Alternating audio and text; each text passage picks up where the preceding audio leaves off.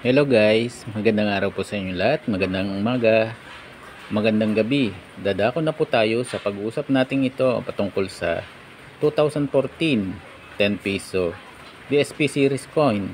At ang bariyang ito ay conjoined bus ni Apolinario Mabini at Andres Bonifacio.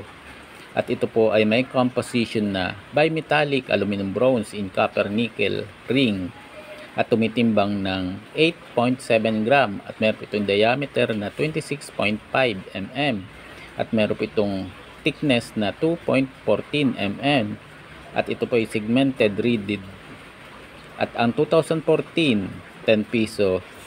BSP series coin ay 1.3% vintage value at ito po ay reverse die 3 at may tuturing na hard to find coin. Hanggang dito na lang po at God bless you all.